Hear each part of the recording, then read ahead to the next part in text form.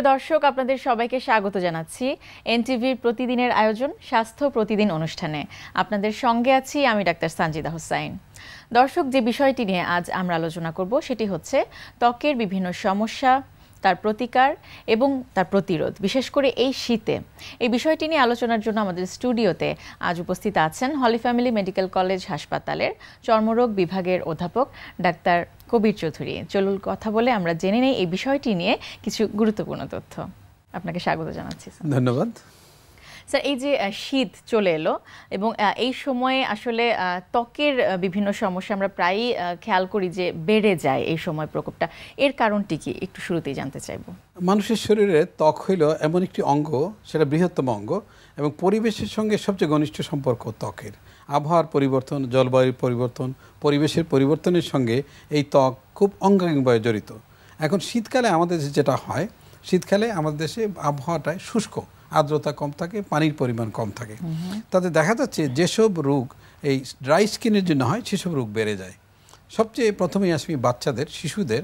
তো শিশুদের atopic allergy নামে একটি অ্যালার্জি হয়, যেটা শিশুকালেই শুরু হয়, ছয় মাস বয়সে শুরু হয়। এবং এই জিনিসটা এই ত্বক যখন শুষ্ক থাকে চুলকানোটা বেড়ে যায় এবং আচ্ছা। প্রকোপ অনেক বেড়ে যায়। এই কারণে চুলকানি থাকে এখানে নাকি আরও কিছু এখানে চুলকানো থাকে দেখা গেল হাঁচি হয় এমনকি শ্বাসকষ্ট হতে পারে।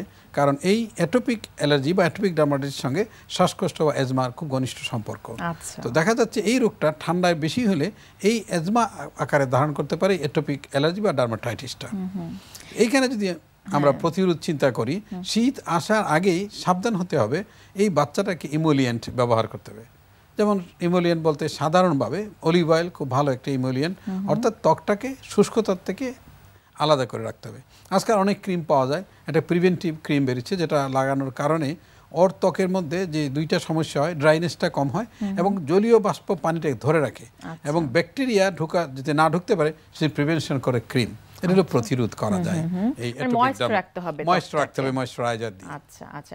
স্যার এই যে ড্রাই স্কিন এই স্কিনটা ড্রাই হয় কেন? সেটির সাথে কি পারিবারিক বা বংশীয় কোনো বিষয় জড়িত আছে? আচ্ছা স্কিনটা আর্দ্র থাকার জন্য যেটা প্রয়োজন সেটা হলো ত্বকের যে স্তর আছে দুইটা স্তর বহিস্তর এবং অন্তঃস্তর। এই স্তরের মধ্যে দেখা যাচ্ছে যাদের জলীয় বাষ্পটা খুব বেশি বেরিয়ে যায় ড্রাই হয়। এটা অনেকটা জেনেটিক যেমন মায়ের ত্বক বা বাবার ত্বক শিশুটি পাবে যদি ড্রাই হয় সে ড্রাই পাবে। যদি মিক্সড হয় মিক্সড পাবে অয়েলি অয়েলি পাবে। এতে কোনো সন্দেহ নাই। তবে এটা কম বেশি তারতম্য হয়। এটা জেনেটিক অনেক সম্পর্ক আছে। আচ্ছা তাহলে সেই শিশুটির বাবা মায়ের উচিত হবে শুরু থেকে একটু সতর্ক শুরু থেকে শীত আসার আগে এই শুষ্ক হওয়ার আগে আবহাওয়া তাকে ময়েস্ট করে রাখতে হবে ময়েশ্চারাইজার ইউজ করতে হবে। আচ্ছা আর কি কি ধরনের সমস্যা হতে পারে? এই যে এটোপিক ডার্মাটাইটিস বা এই সমস্যাটা ছাড়া আর কি কি ধরনের? ইকতাসিস নামে একটা রোগ আছে যেটা এই ত্বকটা একটা মাছের আঁশের মতো হয়ে যায় ড্রাই হতে মনে যেন একটা আঁশ মাছের যে আঁশ থাকে সেরকম ড্রাই শীতকাল আসলেই বেড়ে যায়। এই জন্য যাদের ইকতাইসিস থাকে তাদেরকে আমরা বলি যে শীত আসার আগেই বিভিন্ন ধরনের ক্রিম ব্যবহার হবে ওদের জন্য সবচেয়ে ভালো হয় পেট্রোলিয়াম জেলি বা ভেসলিন ভেসলিন অলিভ অয়েল যদি লাগান এবং গ্লিসারিন এই জিনিসটা যদি ব্যবহার করেন খুব ভালো থাকে। এদের অথবা সরিয়াসি রোগ যাদের আছে তাদেরও পা ফেটে যায়। এই শীতকাল আসলে। স্কেল হয়ে যায় যেটাকে ক্রেক সোল বলা হয় ক্রেক। এটা অনেক সময় রক্তক্ষরণ হইতে পারে ব্যথা হইতে পারে। এই জন্য শীত আসার আগেই ফুড কেয়ার করতে হবে। অর্থাৎ গরম পানিতে পাটা চুপিয়ে ভিজিয়ে মুছার পরে আদ্র অবস্থায় সেখানে হোয়াইট ভেসিলিন অথবা সেলিসেলিক অ্যাসিড লাগাবেন অথবা গ্লিসারিন গ্লিসারিন ভেসিলিন লাগাবেন। তাতে কিন্তু এই ত্বকটা তার ভবিষ্যতে ফেটে যাওয়ার থেকে অনেক ভালো থাকবে। কিন্তু শুরু করতে হবে রোগ হওয়ার আগে। কারণ বৃষ্টি আসার আগে ছাতা ধরতে হবে না ভিজে যাবে স্যার আমরা বাজারে ইদানিং একটা দেখতে পাই যে অয়েল জেল বলে এক ধরনের আছে। সেটি কি আসলে খুব কার্যকরী ভূমিকা অয়েল জেল মানে হলো যে তেলটায় সবচেয়ে বেশি পানি থাকে তেলের মধ্যে বেশিরভাগ তেল অত পানীয় থাকে। যেসি পানীয় থাকে তেল, জেল করা হয়, ইমালশন তৈরি করা হয়, এটা সুবিধা হলো দুইটা। এই যেটা যে জেলটা থাকে না পানি এটা উপরের ভাগটাকে আদ্র রাখবে আর তেলটা করবে ভিতর থেকে পানি যাতে না বের হয় সেখানে সাহায্য করবে। এটা ভালো জিনিস। আরও কিছু সমস্যার কথা আপনি বলছিলেন যে সোরিয়াসিস এই সময় বেড়ে যায়। তো যদি খুব বেশি জটিল আকার ধারণ করে সেক্ষেত্রে কি কি ধরনের জটিলতা আসলে এতে হতে পারে? যদি সতর্কতা না অবলম্বন করা হয় সেক্ষেত্রে? যেমন আমরা অ্যাটোপিক বলছিলাম অ্যাটোপিক বাচ্চাটি শ্বাসকষ্ট হতে পারে ওর ইনফেকশন হতে পারে ওর গায়ে চামড়া উঠে সারা গায়ে চামড়া উঠতে পারে বাচ্চারা খিটখিট করবে ওর শরীর ভালো লাগবে না জ্বর আসতে পারে ইনফেকশন হতে পারে প্রদাহ হতে পারে এটা শিশুর ব্যাপারে আর এটা atopic dermatitis এটা এর অ্যাটোপিক ক্ষেত্রে আপনি ডার্মাটাইটিস আচ্ছা। বড়দেরও হয় কম শিশুদের বেশি হয়। যেমন ইকটাইসিস এত বেশি চামড়া উঠবে দেখা গেলে হাত সে মুট করতে পারতেছে না ড্রাই হওয়ার কারণে এবং হাতের যে দাগগুলি ফেটে যাচ্ছে। এবং সোরিয়াসিস রোগীর স্কেল উঠে। যদি দেখা যাচ্ছে এটাকে সে ঠিকমতো আর্দ্র না রাখে তাহলে স্কেল বা চামড়া উঠে রক্তক্ষরণ হতে পারে গিটা ব্যথা বেড়ে যেতে পারে যা শরীরে গিটা ব্যথা হয় এবং চামড়াটায় আস্তে আস্তে ত্বক উঠে যেটাকে বলে এক্সফোলিয়েটিভ ডার্মাটাইটিস ডেভেলপ করতে পারে যদি ঠিক মতো যত্ন না করা হয় শীতকাল আসার আগেই। আচ্ছা আর আপনাদের কাছে যখন এই জাতীয় সমস্যা নিয়ে যায় তখন আপনারা কি কি ধরনের পরামর্শ দেন এবং কীভাবে এই রোগীগুলোকে ম্যানেজ করেন? আচ্ছা যখন আসে তখন আমরা যে চেষ্টা করি এই রোগী যে আগে কোনো ডাক্তার না দেখায় কোনো টেস্ট করা না থাকে যেমন অ্যাটোপিক কনফার্ম করার জন্য আমরা আইজি লেভেল করি এটা রক্তের পরীক্ষা। আর সরিয়াসিস ইকতেওসিস আমরা বায়োপসি করে কনফার্ম করি যে এটা আসলে কি রোগ নাকি অন্য কিছু বা ভিতরে কোনো রোগ আছে নাকি। আর শারীরিক অন্যান্য পরীক্ষা করা হয় যেমন এই রোগের সঙ্গে ভিতরে রোগের সম্পর্ক থাকতে পারে সেগুলো আমরা পরীক্ষা নিরীক্ষা করি। তারপর যে ওষুধ দেওয়ার প্রয়োজন যদি অ্যান্টিবায়োটিক প্রয়োজন হয় অ্যান্টিবায়োটিক দিই চুলকানোর জন্য অ্যান্টিহিস্টামিন দেওয়া হয়। সোরিয়াসিস যদি প্রকট আকার হয় সেখানে মিথোট্রেক্সিড বা যে ধরনের ওষুধ পাওয়া যায় বাজারে সেগুলি দেওয়া হয়। যেন এই রোগটা দমন করে রাখা যায় বা কিওর করা যায়। এই এটোপিক ডার্মাটাইটিসটা ঠিক কত বছর পর্যন্ত শিশুদেরকে আসলে সমস্যা করে এটা অনেকের প্রশ্ন যে বাচ্চা কখন ভালো হবে? অ্যাটোপিক দুইটা জিনিস অ্যাটোপিককে বলা হয় ব্লেসিং অ্যান্ড ডিসগাইজ ডিসগাইজ হলো যে এটা অনেক কষ্ট দেয় শ্বাসকষ্ট হয় জ্বর আসে বাচ্চা খিটখিট করে ত্বক দেখে মা বাবা মা অনেক খারাপ মন খারাপ লাগে কান্নাকাটি করেন। তো এইটা হলো ডিসগাইজ তবে খুশির খবর এটা একটা বয়স পর্যন্ত থেকে একটা বয়সে এটা চলে যায়। বলা হয় তিন ছয় নয় বারো। এই বয়সের মধ্যে চলে যায়। কিন্তু চলে যাওয়ার জন্য রেগুলার ট্রিটমেন্ট করতে হবে। ট্রিটমেন্ট না করলে একে কমপ্লিকেশন দেখা যায়। যেটি বলছিলেন আপনি যে ময়েস্ট রাখা। ময়েস্ট রাখতে হবে। ড্রাই। যাতে না থাকে। Dry যাতে না শুরুটা কীভাবে হতে পারে শিশুদের আচ্ছা শিশুদের যখন হয় এটা হলো ইনফেন্টাইল টাইপ যেটা একদম ছোট- ছোটবেলায় হয় এইটাতে প্রথম গাল লাল হয়। এবং বাচ্চা দেখা যাচ্ছে নিজে নিজেই চুলকাচ্ছে গায়ে হাত দিচ্ছে চোখে হাত দিচ্ছে গালে হাত দিচ্ছে এবং খামচি দিচ্ছে। তখন বুঝতে পারে অ্যাটোপিক সম্ভাবনা আছে। গালটা লাল হয় প্রথম লক্ষণ। পরবর্তী যদি শিশুকাল আরেকটু পরে হয় চাইল্ডহুড টাইপ তখন হাতের ভাঁজ যেমন হাঁটুর পিছনে এবং গুলোতে ফোল্ডগুলিতে এটা বেশি দেখা দেয় আচ্ছা। এবং চুলকানোটা বেশি হয় স্কিন ড্রাই হয়ে যায়। এগুলো আপনি বলছিলেন যে বারো বছর পর্যন্ত মোস্টলি থাকে। এর পরবর্তীতে আসলে কি থাকার কোনো সম্ভাবনা রয়েছে? আচ্ছা অ্যাডাল্ট টাইপ খুব কমই থাকে। ফাইভ পার্সেন্ট হয়তো অ্যাডাল্ট বয়সে থাকতে পারে। এটা সম্ভাবনা খুবই কম। কিন্তু ডিসগাইজ ব্লেসিং এই বাচ্চাগুলি দেখা যাচ্ছে এদের বুদ্ধি প্রখর থাকে গিফটেড চাইল্ড এদের মেধা ভালো হয় এদের স্মরণশক্তি ভালো হয় এরা পারসেপটিভ হয় বুঝে ভালো। অনেক পৃথিবীতে লিডার আছে যারা এটোপিক ছিল ছোটবেলায়। এবং এটোপিকদের মেধা এটা দেখা গেছে যে অনেক বড় বড় লিডার পৃথিবীতে বা একটা স্কুলের বাচ্চা যে ফার্স্ট হয় দেখা গেল আসলে সে এটোপিক ডার্মাটাইটিস এটোপিক অ্যালার্জি এবং তার মেধারা অনেক বেশি। মেধার সঙ্গে এই রোগীর কী সম্পর্ক? রিসার্চ করে এখনও তার তেমন কোনো পাওয়া যায় না কেন হয়? কিন্তু অবজারভেশন আমি নিজেও দেখেছি হাজার হাজার বাচ্চার মধ্যে।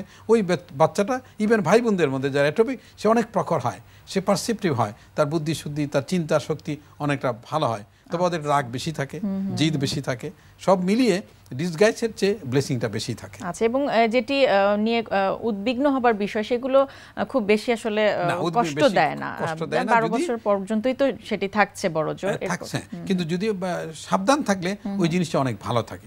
আর কেউ যদি মনে করেন এটা তো থাকবেই আমার চিকিৎসা করার প্রয়োজন কি তাইলে কিন্তু ভুল করবেন।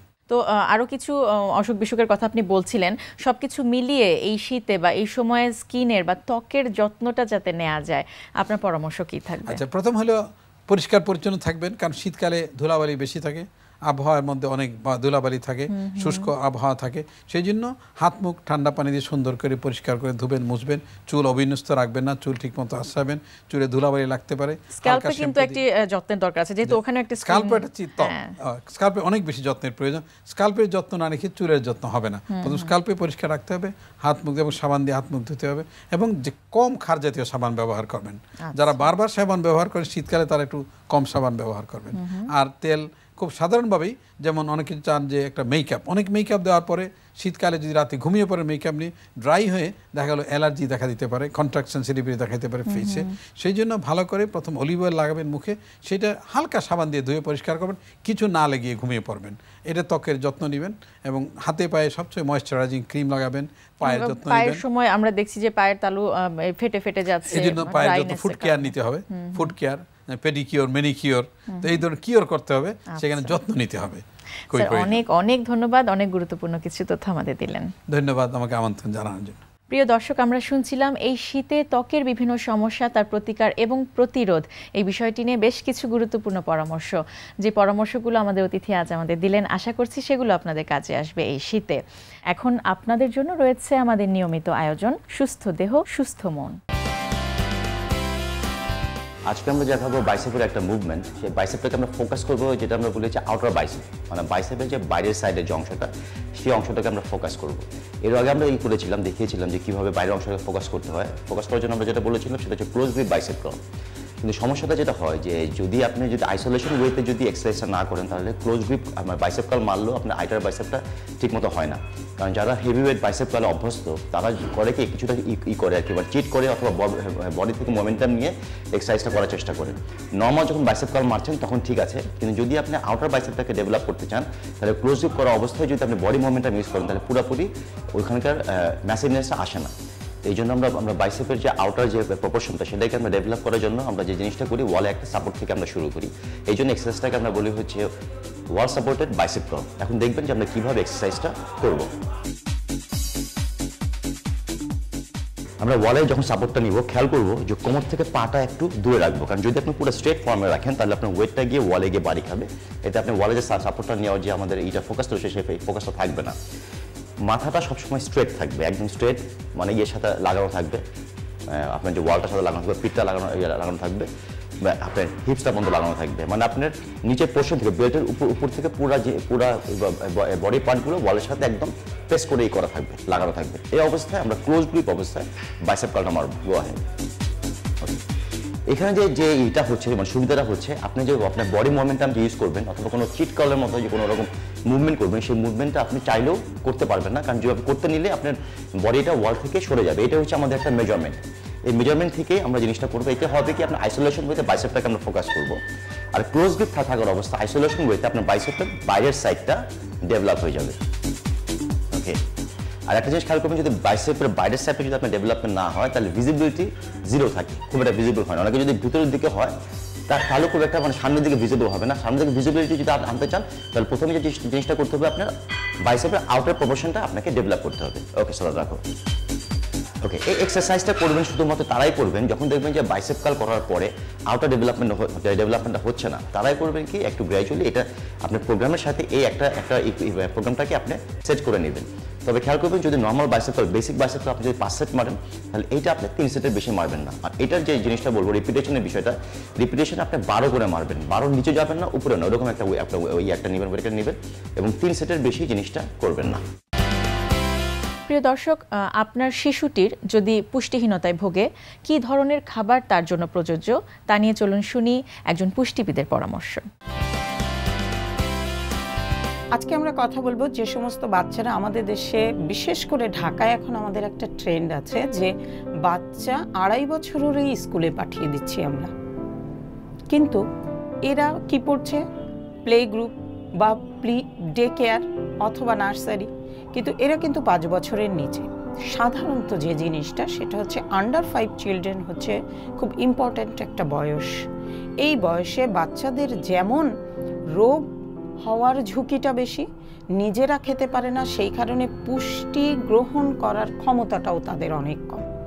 ফলে এই বয়সটাতে যদি পর্যাপ্ত পরিমাণে মা এবং তার কেয়ার গিভাররা যত্নটা না নিতে পারেন, তখন এই বাচ্চারা অনেক সমস্যার সম্মুখীন হয় এই আন্ডার ফাইভ চিলড্রেনদের ক্ষেত্রে প্রথমত যে জিনিসটা খেয়াল রাখতে হবে, যে তারা নিজেরা হাতে ধরে খেতে পারে না, তাদের খাবারের পরিমাণ তারা বুঝে না। কিন্তু এই সময় তাদের শরীরের গ্রোথ মানে তাদের লম্বা হওয়া, তাদের ওজন, তাদের বুদ্ধিবৃত্তি বাড়ার বয়সটা সব থেকে বেশি। এই কারণে তাদের খাবারে প্রচুর প্রোটিন থাকতে হবে এনার্জি থাকতে হবে ফ্লুইড থাকতে হবে এবং পাশাপাশি ভিটামিন মিনারেলস থাকতে হবে। পাশাপাশি যে সমস্যাটা আমরা সম্মুখীন হই সেটা হচ্ছে এই বাচ্চাদের একটা মর্নিং শিফট থাকে, একটা ডে শিফট থাকে। সাধারণ ক্ষেত্রে মর্নিং শিফটের বাচ্চারা কিছু না খেয়েই স্কুলে চলে যায়। এবং টিফিনে যেহেতু তারা নিজেরা খেতে পারে না, সেহেতু যে জিনিসটা হয় যে তারা দীর্ঘ সময়, যদি দুই ঘণ্টা, আড়াই ঘণ্টা, তিন ঘন্টাও না খেয়ে থাকার একটা স্কুলের সময় থাকে, তারা না খেয়ে থাকে।